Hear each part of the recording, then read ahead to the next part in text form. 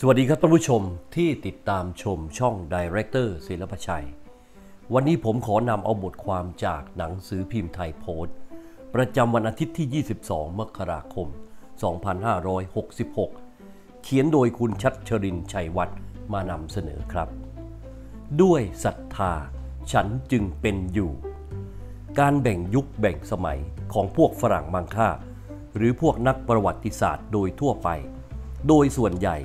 มักอาศัยเครื่องไม้เครื่องมือในการยังชีพ หรือการประกอบกิจกรรม กิจการต่างๆ นานานั่นแหละเป็นหลัก ประเภทการใช้ขวานหิน มีดหิน ที่กลายมาเป็นยุคหินเก่าหินใหม่ ก่อนไล่เรียงมายังยุคบรอนซ์ยุคเหล็ก และยุคเริ่มต้นประวัติศาสตร์อะไรทำนองนั้น แม้จะเริ่มต้นประวัติศาสตร์ที่เป็นที่เรียบร้อยแล้ว การจำแนกแยกแยะยุคสมัยในแต่ละยุค ก็ดูจะยังเป็นไปในรูปแบบเดิมๆ คือแยกเป็นยุคเกษตร ยุคอุตสาหกรรม จนกระทั่งมาถึงยุคอิเล็กทรอนิกส์ หรือยุคเทคโนโลยี ที่บรรดาเราเราท่านท่านๆมีอันต้องยังชีพยังชีวิตอยู่จนตราบเท่าทุกวันนี้ อาจด้วยเหตุและเพราะบรรดาเครื่องไม้เครื่องมือทั้งหลาย มันมีส่วนเกี่ยวข้องกับพฤติกรรม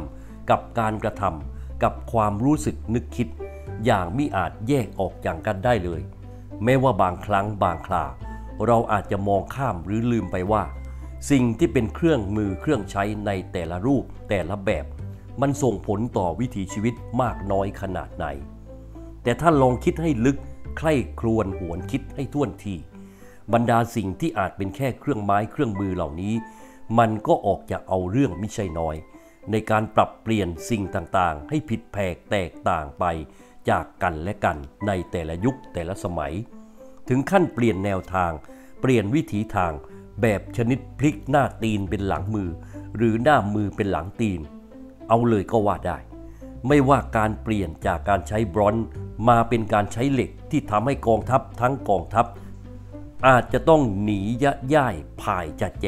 เกิดการสูญชาติสิ้นชาติ เกิดการอุบัติขึ้นมาใหม่ของชาติใหม่ ๆจากกวัดใหม่ ๆ หรือเปลี่ยนจากการทอผ้าเย็บผ้าด้วยมือ ในสังคมเกษตรกรรมทั้งหลาย กลายมาเป็นการใช้เครื่องจักรทอผ้าในโรงงานอุตสาหกรรม ที่ไม่เพียงก่อให้เกิดความเปลี่ยนแปลงชนิดชาติหนึ่งชาติใดเท่านั้น แต่ต้องเรียกว่า เปลี่ยนกันในระดับโลกหรือทั่วทั้งโลกเอาเลยก็ว่าได้ ด้วยเหตุนี้ การเปลี่ยนจากการใช้โทรเลขโทรศัพท์บ้าน มาเป็นการใช้มือถือ เปลี่ยนจากจดหมายไปรษณีย์มาเป็นแฟกซ์ เป็นอีเมล เปลี่ยนจากการนั่งหน้าจอทีวี มาก้มหน้าก้มตาอยู่ในอินเทอร์เน็ตทั้งวันทั้งคืน ยังไงยังไง มันย่อมก่อให้เกิดความเปลี่ยนแปลงอย่างชนิดมากมายมหาศาล อันเป็นความเปลี่ยนแปลงที่บรรดาเราเราท่านท่านทั้งหลาย อาจจะมองข้าม หรืออาจลืมไปว่า เหตุที่อะไรต่อมีอะไรมันผิดแผกแตกต่างไปจากเดิม ไม่ใช่เป็นเพราะมึงหรือกูเป็นเพราะฝ่ายมันหรือฝ่ายเราเท่านั้น แต่เป็นเพราะบรรดาเครื่องมือเครื่องใช้ทั้งหลายนั่นเอง ที่มันได้ทำให้แทบทุกสิ่งทุกอย่าง ไม่มีวันเหมือนเดิมอีกต่อไปแล้ว ยิ่งโดยเฉพาะเครื่องไม้เครื่องมือประเภทอิเล็กทรอนิกส์ หรือประเภทต้องอาศัยคลื่นแม่เหล็กไฟฟ้าทั้งหลาย ที่ว่ากันว่า อาจจะส่งผลกระทบไปถึงระบบการทำงานของสมอง ลึกลงไปในเซลล์ของบรรดาสิ่งมีชีวิต ที่เป็นผู้ใช้เครื่องมือเหล่านี้ ไม่ว่าโดยรู้ตัวไม่รู้ตัว โดยยอมรับไม่ยอมรับก็ตาม ดังนั้น อะไรที่มันผิดแผกแตกต่างไปจากเดิม ไม่ว่ารุ่นมึงรุ่นกู ไม่ว่าเด็กไม่ว่าผู้ใหญ่ ไม่ว่าฝ่ายมันฝ่ายเรา มันจึงเป็นตถาตา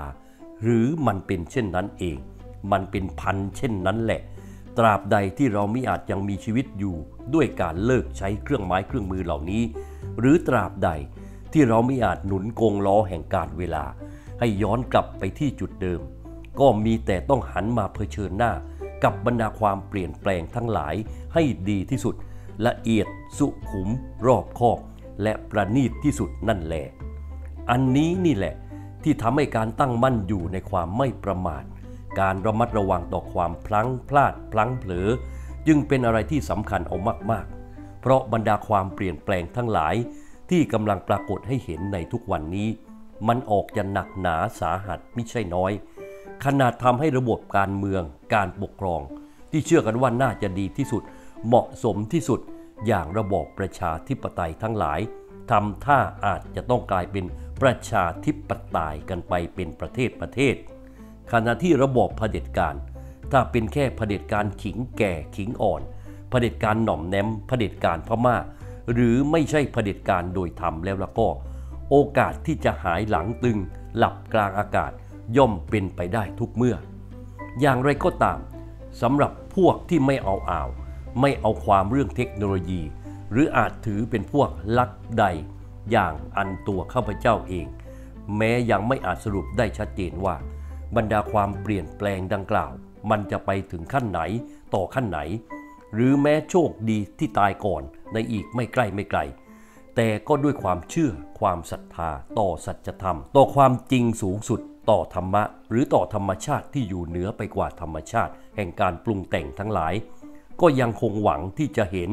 กงล้อแห่งการเวลา หมุนเวียนจากความมืดที่สุด มาสู่ความสว่างในที่สุด ไม่ว่าณชาตินี้ ชาติหน้า หรือชาติไหนๆก็ตามที ศิลปชัยเดลี่ เรามีเรื่องราวดีๆ จากหนังสือพิมพ์ไทยโพสต์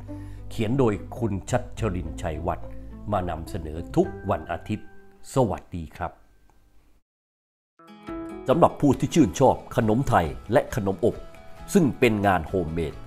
เน้นวัตถุดิบที่มีคุณภาพ และเน้นความสะอาดทุกขั้นตอนในการผลิต รับประกันความอร่อยที่ไม่ทำลายสุขภาพ อร่อยทุกคำเพราะทำจากใจ